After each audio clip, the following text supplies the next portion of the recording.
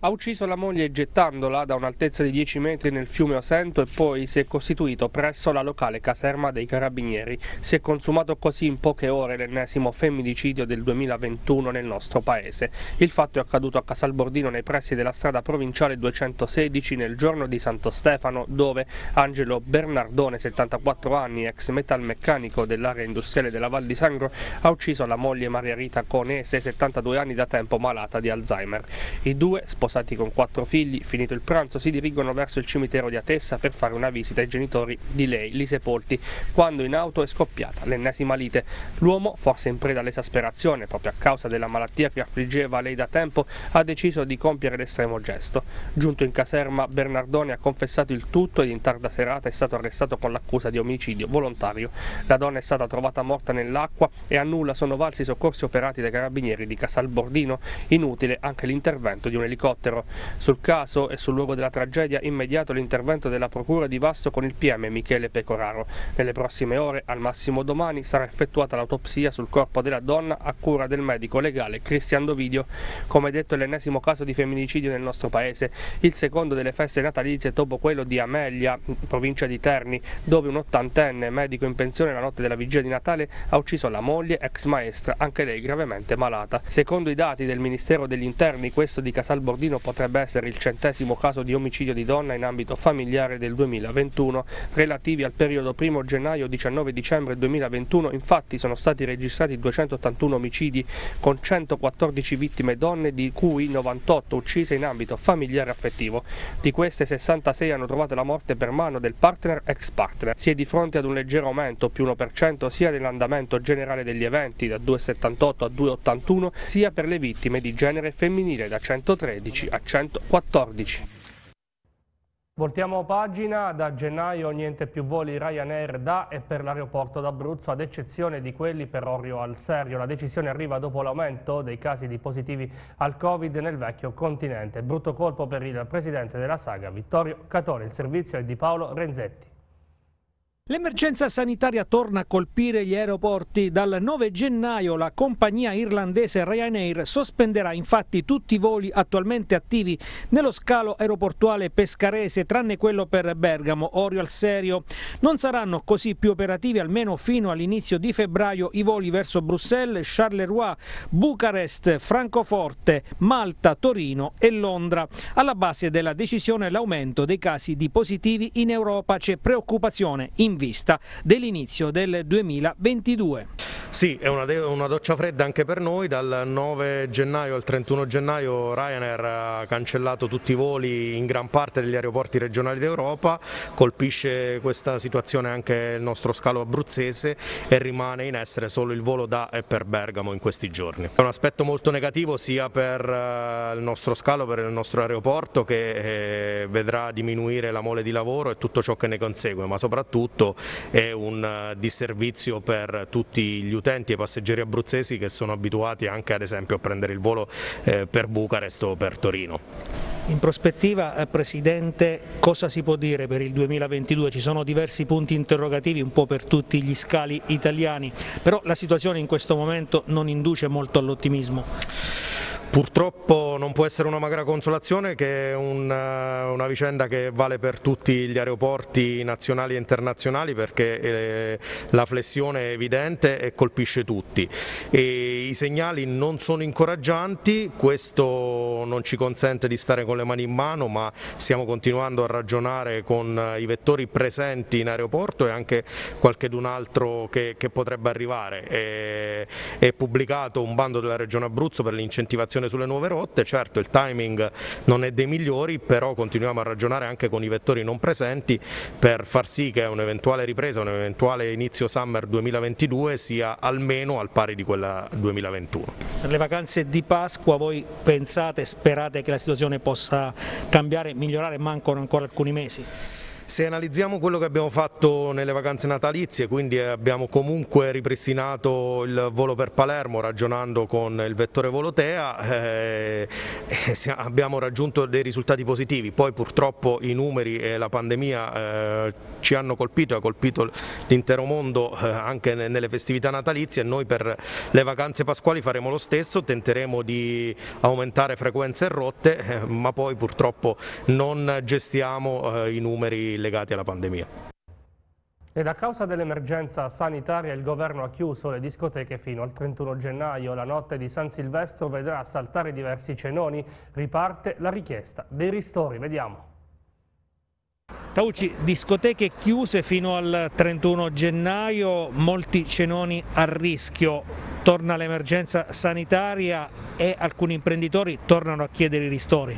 Beh, assolutamente sì, perché il fatto che si debba eh, puntare il dito solo su alcune categorie è naturale che quelle categorie si sentono tornare indietro innanzitutto di un anno, ma a questo punto hanno bisogno di un ristoro che non sia però quello degli anni precedenti, perché fortunatamente tutto il resto sta, si sta muovendo le discoteche e la ristorazione che quasi sicuramente avrà un, una fase di, di stop, di rallentamento per il Capodanno, subisce un danno economico importantissimo in un momento in cui tutti quanti incominciavano a pensare ad una piccola ripresa. Nella ristorazione questi giorni sono giorni in cui si incassa e si producono quegli utili che servono per reggere le, le aziende, così come per l'abbigliamento il saldo piuttosto che altri momenti. Quindi bruciare il fatturato del capodanno significa bruciare un'economia che serve poi per mantenere un'impresa. Non solo le aziende che purtroppo avranno questo problema, saranno anche i lavoratori che subiranno eh, eventualmente ulteriore cassa integrazione o in alcuni casi lì dove ci sono le condizioni di una riduzione di posti di lavoro perché questa altalena, questo movimento su e giù della possibilità di fare e di non fare crea grande incertezza. Molte attività hanno deciso di non fare il veglione, questo significa dover riparametrare completamente la propria attività e i propri utili. Altri forse penseranno di annullarlo, quindi il danno economico è importante. Voltiamo pagina, il Consiglio regionale oggi sceglierà i tre grandi elettori chiamati a votare il, dal prossimo anno il nuovo Presidente della Repubblica. Meno di sorprese dell'ultima ora a rappresentare l'Abruzzo saranno Marco Marsiglio, Lorenzo Sospiri e Sara Marcozzi. Intanto il Presidente della Regione, ospite della trasmissione Omnibus sulla 7, ha parlato della possibile elezione al colle di Silvio Berlusconi. Vediamo. Il Consiglio regionale sceglierà nel corso della seduta di oggi i tre grandi elettori della regione Abruzzo che parteciperanno alle elezioni del Presidente della Repubblica nel prossimo mese di marzo. Assise che dopo lo slittamento di qualche ora prenderà il via alle ore 15 per permettere uno screening a tappeto dopo le positività riscontrate nei consiglieri Montepara e Testa. Non è escluso a questo punto il ritorno alla modalità online. Tra le file della maggioranza di centrodestra in sella dal febbraio del 2019 la scelta ricadrà sul Presidente della Giunta giunta regionale Marco Marsiglio di Fratelli d'Italia sul presidente dell'Assemblea regionale Lorenzo Sospiri di Forza Italia. Il terzo nome individuato in seno alle forze di opposizione è invece quello della capogruppo del Movimento 5 Stelle Sara Marcozzi. La pentastellata in particolare avrebbe il voto sicuro con l'ausilio dei consiglieri di centro-sinistra vista anche la profonda spaccatura in seno al movimento. Proprio il presidente della giunta regionale, intervenuto questa mattina nella trasmissione Omnibus di La 7, non ha ostentato nessun problema a confermare la propria volontà e quella quella del centrodestra nel sostenere Silvio Berlusconi alla guida del Quirinale. Io naturalmente voterò quello che il centrodestra deciderà di votare tutti insieme. La nostra speranza e il nostro auspicio è che tutto il centrodestra abbia una candidatura unitaria e che tutti insieme la sosterremo. Berlusconi è molto amico dell'Abruzzo, conosciamo tutti l'impegno di Berlusconi per la ricostruzione post-sisma all'Aquila e quando viene in Abruzzo raccoglie sempre tanta simpatia, tanta gratitudine tanto affetto e sono certo che se fosse Presidente della Repubblica la Regione Abruzzo avrebbe un amico vero al Quirinale. Ci sarà domani anche una rappresentanza abruzzese di, balnea, di balneari di SIB, Confcommercio e Ciba Confesercenti a Roma sotto al Mise per protestare contro la decisione del governo di azzerare le concessioni balneari. Vediamo. Domani a Roma alle 15 in via Veneto, sotto la sede del Mise, il Ministero dello Sviluppo Economico, ci sarà la protesta dei titolari e gestori degli stabilimenti balneari contro la sentenza del Consiglio di Stato che ha deciso la proroga fino al dicembre 2023 delle concessioni balneari. Una rappresentanza dei manifestanti incontrerà il Ministro del Turismo Massimo Garavaglia. Sarà presente a Roma una vasta platea di balneatori abruzzesi. Il, il governo stava usando la mano forte contro la volontà dei partiti che lo sostengono, contro la volontà dei balneatori che hanno, che hanno dato la promessa alla politica che si, son, si, sarebbero seduti intorno a un tavolo. Abbiamo notato che all'interno del governo c'è chi sta lavorando contro la nostra democrazia, contro le imprese e meno male che abbiamo amici all'interno del Parlamento che ci hanno avvisato al momento. Il 23 dicembre si stava facendo uno scempio, si stava realizzando la, la nostra morte senza nemmeno darci la possibilità di appellarci. Perché appellarci? Perché nella sentenza del Consiglio di Stato noi abbiamo deciso che faremo ricorso in Cassazione. Se la manina si sarebbe inserita il 23 dicembre, molto probabilmente la nostra sentenza sarebbe andata a vuota perché il governo avrebbe sicuramente emanato una, una modifica della norma e quindi in, in, nostra, il nostro appello sarebbe stato inefficace. Quindi domani mattina saremo saremo a Roma per far, sentire, la, per far vedere la presenza ai partiti della maggioranza, al ministro Garavaglia, alla Gelmini, a Gasparri, ad Amendola, a Turchi, a tutto l'apparato governativo e poi ci organizzeremo sicuramente, non ci fermeremo a domani, organizz organizzeremo, partirà dall'Abruzzo la proposta di andare all'euro e di fare il raduno di tutti gli stabilimenti balneari, di, di tutte le concessionarie demaniali d'Italia. Dobbiamo risolvere il problema, dobbiamo fare la riforma, facciamola insieme, tenuto conto che si, ci si mette intorno a un tavolo e si trova la soluzione, la quadra per fare in modo che questa riforma sul codice della navigazione che riguarda il turismo demaniale venga definita una volta per tutte. Sono vent'anni che ci fanno sedere, sono vent'anni che ci prendono in giro, adesso basta. In concreto chiediamo che eh, gli interlocutori che devono affrontare questa riforma non possono essere i tecnici ministeriali, ma deve essere la politica. Poi chiediamo che venga inserito all'interno della, della, delle, di un domani di un'evidenza pubblica l'avviamento commerciale, il valore aziendale delle nostre imprese, la eh, tipicità delle nostre imprese e anche la valorizzazione nonché la rigenerazione demaniale in modo da consentire anche a noi di fare una programmazione di investimenti che sia a lungo termine. Il prefetto della provincia di Chieti, Armando Forgione, ha provveduto alla sospensione del Consiglio Comunale di Penna Piedimonte dalla nomina del commissario prefettizio nella persona del viceprefetto aggiunto Francesco Papagni per la provvisoria amministrazione dell'ente, avviando nel contempo la procedura di scioglimento ai sensi dell'articolo 141 del testo unico degli enti locali. Il provvedimento è stato adottato in seguito alle dimissioni contestuali della carica di sette consiglieri comunali su dieci assegnati al commissario sono conferiti poteri spettanti al sindaco, al consiglio Consiglio e alla Giunta Comunale. E restiamo a Chieti perché potrebbe tornare a breve alla normalità il trasporto pubblico nella città. Un emendamento al bilancio di previsione della Regione per 400.000 euro sarà funzionale alla possibile chiusura dell'avvertenza panoramica. Selenia Secondi depositato l'emendamento che stanzia 400.000 euro destinati a definire la vertenza tra la Panoramica, la società di trasporto pubblico urbano di Chieti e i lavoratori. Sul tavolo della trattativa il mancato rinnovo degli incentivi del contratto di secondo livello. L'emendamento è stato sottoscritto dal sottosegretario con delega ai trasporti D'Annunzis e dal capogruppo di Forza Italia in Consiglio regionale Mauro Febbo, il quale da settimane si era attivato per arrivare ad una soluzione della vertenza che da un anno vede i lavoratori operatori della panoramica senza il riconoscimento degli incentivi previsti dalla contrattazione di secondo livello. Giovedì scorso, durante la conferenza dei capogruppo alla Regione, le organizzazioni sindacali hanno chiesto di vincolare queste somme al rinnovo contrattuale. È stato quindi definito l'iter per le risorse che saranno trasferite al Comune di Chieti, il quale poi dovrà agire nei confronti della panoramica, chiamata a ripristinare le corse soppresse. Le organizzazioni sindacali dei trasporti, rappresentate dai segretari regionali Franco Rolandi, Filt CGL, Andrea Mascitti, Fit Cisl e Luciano Lizzi, Faisa Cisal, hanno evidenziato che il problema non ha interessato unicamente i 70 dipendenti della panoramica di Chieti. Da oltre un anno con, con la contrattazione aziendale azzerata e una decurtazione salariale di oltre 4.000 euro, ma abbia più in generale intaccato pesantemente un servizio pubblico essenziale come quello del trasporto pubblico locale che in provincia di Chieti e nello specifico nel comune capoluogo ha rappresentato un caso anomalo ed esclusivo nello scenario regionale e paradossalmente anche nazionale. Soddisfazione viene espressa oggi dalla CISL che ora però ribadisce come i sindacati debbano farsi garanti della ripresa della contrattazione che vedrà ristorati i lavoratori della panoramica, così come andrà garantita la riorganizzazione dei servizi alla collettività teatina per il diritto alla mobilità. Ma, ribadisce Mascitti dalla CISL, bisogna soprattutto battersi per far sì che i lavoratori della panoramica abbiano turni di lavoro a norma di legge.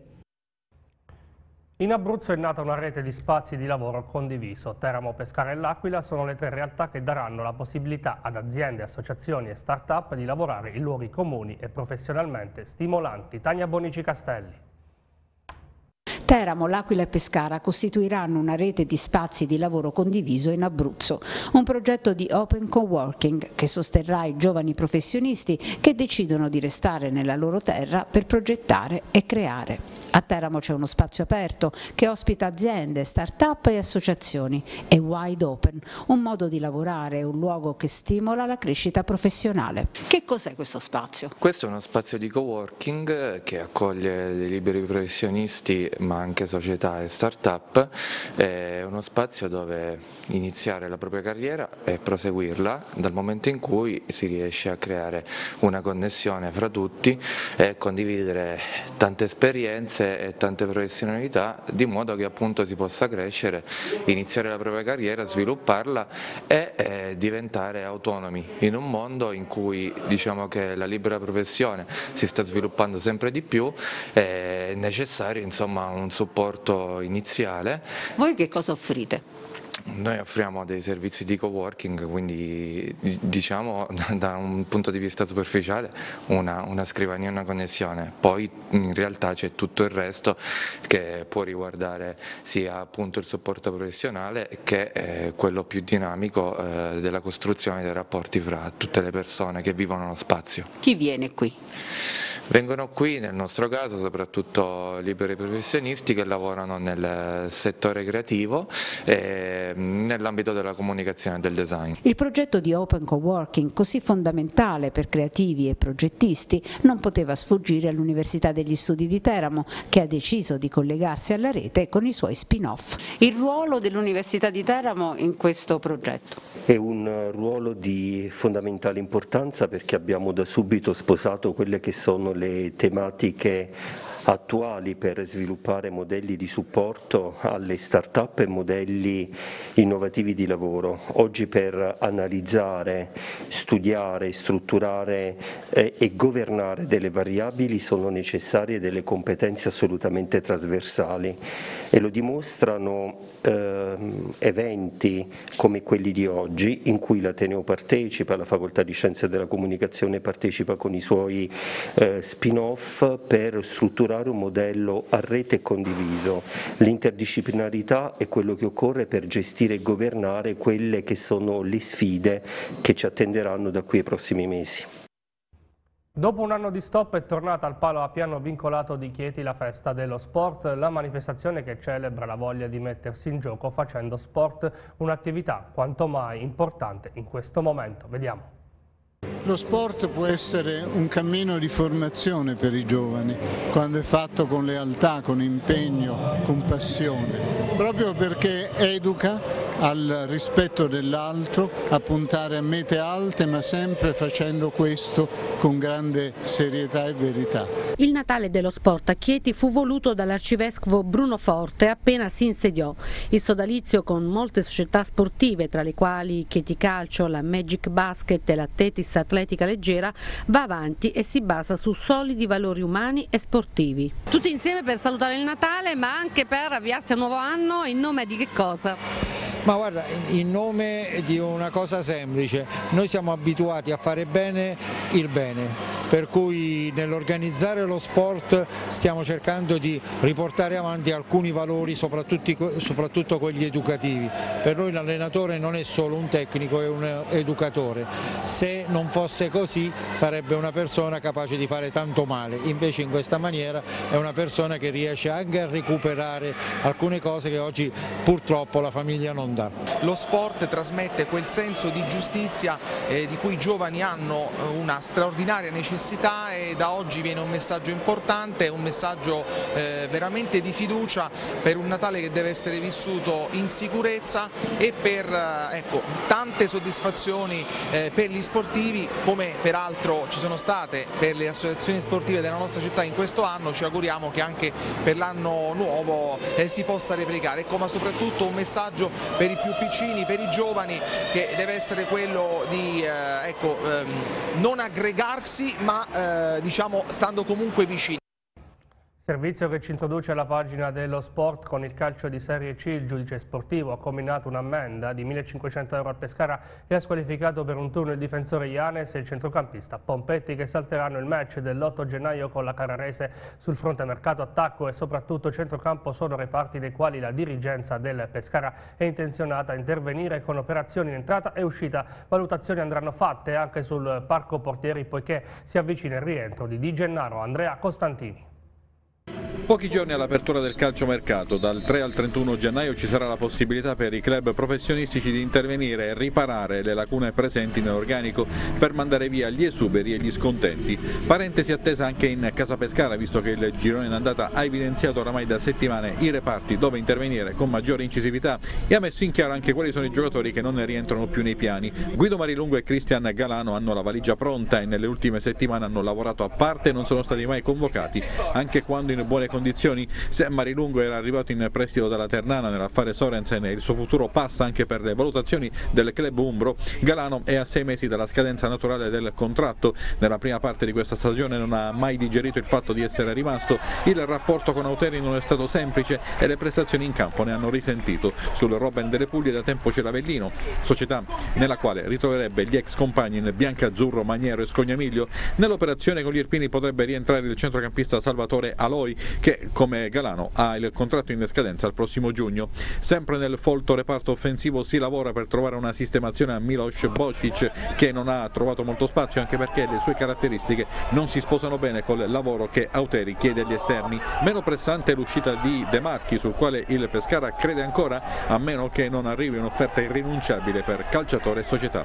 Smaltite le partenze si potrebbe pensare ad un innesto. Sul centrocampo si concentrano le maggiori attenzioni del presidente Sebastiani del DSM Matteassi, Valdifiori non rientra nei piani ma è difficile cederlo, Sanogo prossimo alla partenza, Rizzo è un altro sacrificabile. I dirigenti del Delfino puntano ad un paio di innesti, oltre ad Aloi continua ad essere attuale il nome di Carlo Derisio del Bari, ma oltre a scogli di natura economica c'è un'altra questione, Derisio è fuori lista e non ha mai giocato dunque, in caso di arrivo. Non sarà subito nella sua piena efficienza fisica. Meno problemi al momento ci sono in difesa dove il solo frascatore potrebbe essere in uscita e in quel caso bisogna bisognerebbe rimpiazzarlo. Valutazioni andranno fatte sui portieri, il rientro di Di Gennaro creerà una insperata abbondanza, in rosa ci sono anche Sorrentino, Iacobucci e Radaelli che porterà a qualche scelta strategica, forse negli ultimi giorni di mercato. Con 18 incontri ancora da disputare nel 2022, il Teramo deve alzare la media punti a partita troppo bassa ora per poter pensare alla permanenza in Serie C, ma molto passa anche dalle vicende societarie per le quali si attende un chiarimento a stretto giro. Jacopo Forcella. Un punto virgola 16 a partita, sperando che basti. E quanto servirebbe al Teramo nella parte 2 del campionato, quella che parte sabato 8 gennaio a Siena, per raggiungere la quota dei 40 che dovrebbe, condizionale assolutamente d'obbligo, permettere di centrare la salvezza. Insomma, basterebbe elevare di pochissimo una media punti che ora recita 1 a partita, 19 punti in 19 impegni. Dirlo sembra più semplice che farlo però, perché il diavolo che torna oggi ad ad allenarsi con una seduta pomeridiana avrà una ripartenza da brividi. La trasferta di Siena per l'appunto apre il nuovo anno e poi in casa arriva un Modena lanciatissimo ma che sempre sabato 8 incrocerà le spade con la Reggiana nello scontro diretto al vertice e potrebbe subire contraccolpi positivi o negativi del risultato del Mapei Stadium. In più la questione ruota attorno alla possibilità o meno di poter dare a Federico Guidi qualche elemento per invertire la rotta. Non è semplice, visto che le vicende societarie vanno sbrogliate nel minor tempo possibile, per fare in modo che si possa pensare ad una programmazione calcistica. La pronuncia della Coaps tarda ad arrivare, il custode giudiziario a strettissimo giro incontrerà la dirigenza, sia la parte di maggioranza che quella di minoranza, anche in considerazione del fatto che allo stato attuale il Teramo ha un'autonomia a livello di cassa limitata ai prossimi due mesi sempre che non arrivi qualche offerta per qualcuno dei calciatori attualmente in organico, anche se vista la lenta progressione del girone d'andata, nessuno pare essersi messo in luce a tal punto da far accendere i riflettori del mercato su di sé. Nel frattempo, finché non ci sarà il semaforo verde per poter procedere all'ingresso di capitali, il tecnico bianco-rosso dovrà pensare a rinvigorire un gruppo che vive un momento di assoluta difficoltà, ma che se si guarda il prospetto delle partite disputate in stagione ha sempre viaggiato a strappi. Quattro vittorie con Viterbese, Pistoiese, Fermane e Pontedera, due in casa e due in trasferta, ma poi è stato sempre ciclicamente soggetto a ricadute con risultati negativi che hanno neutralizzato i successi appena ottenuti. Il Bonolis violato troppe volte, 5, e che non riesce ad essere un fortino, quello che serve ad una squadra che punta alla salvezza. La priorità di Guidi sarà il ripristino della tenuta difensiva, dalla quale passano le fortune o meno del diavolo bucato più di ogni altro non prenderle, per una formazione che segna pochissimo significa anche riuscire a strappare un risultato positivo nelle gare complicate, quelle equilibrate, quelle che il diavolo ha dimenticato, considerate le uscite recenti che lo hanno visto sommerso di reti senza capacità di reazione. Ed è questo, la mancata reazione, l'aspetto più preoccupante che rende scettici sulla possibilità di arrivare a un punto e 16 a partita, un percorso non impossibile ma di certo a cui servirebbero ben altri presupposti. Passiamo ora al volley. L'Abba Pineto ha tesserato un nuovo centrale. Si tratta del classe 98 Giuseppe Orlando che arriva dalla pallavolo Jolly 5 Fondi, squadra calabrese di Serie B. E il Covid invece a farla da padrone anche nel turno di volley programmato per Santo Stefano. Rinviate le gare di Secortona e Abba Pineto in A2 femminile. Nuova sconfitta per l'Altino che cade sul campo del Sant'Elia. Sergio Zappalorto. Un Santo Stefano dove tutto è andato storto. Salta il big match al giro di boa in A3 tra Grottazzolina e Abapineto già alla vigilia di Natale. In extremis il 26 mattina stop pure in A2 all'Impavida in procinto di scendere a Castellana Grotte. Covid padrone assoluto. Tutto rinviato al vertice dove regna il Pineto, stop pure al Macerata. La Sieco non gioca mentre perde in casa la rivale Mondovì, ma vince il Brescia che stacca ulteriormente gli ortonesi nell'area rossa. Si riprenderà il 2 gennaio proprio tra Ortone e Brescia, altra gara all'ultima baionetta. In campo femminile perde di nuovo resta zero un altino generosissimo, ma in una partita dove cavar punti sono affiorati troppi limiti e troppi regali post-natalizi per non avvenirsi ancora una volta. Rimane il grosso rammarico che, senza togliere nulla alla regia ci mancherebbe, l'esperienza del recente acquisto Gatta avrebbe potuto dare il contributo giusto nei momenti chiave. Ciò non toglie che i tanti errori in ricezione, ma anche in battuta, le carenze al muro, laziali 13 di cui 7 la sola ex Montechiarini contro 5 delle nostre e talora allora le difficoltà finalizzatrici hanno causato un 3-1 contro un'avversaria, il Santeria, con però pesanti assenze complessivamente alla portata. Primo punto rinviato sperando che arrivi prima o poi l'atteso Blitz, tabellino individuale, 15 punti Cavalenca, 11 Lestini, 8 Linoma percentuale, 7 Zingoni, 6 Spicocchi, 2 di Arcangelo, 64 e 39 le cifre della solita Mastrilli. Era questo il nostro ultimo servizio, tutti quelli che avete visto li potete trovare sul nostro canale social YouTube e al sito www.tv6.it. Prossimi aggiornamenti alle ore 19 e alle ore 23, grazie per l'attenzione, buon proseguimento con i nostri programmi.